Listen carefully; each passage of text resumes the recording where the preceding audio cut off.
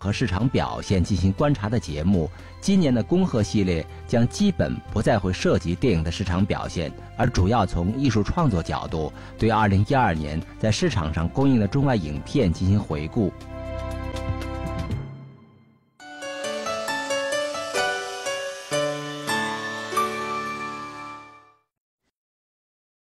通知：下期恭贺二零一三、二零一二年电影回顾下季篇，将为您全面回顾和盘点二零一二年第二季度公映的主要影片。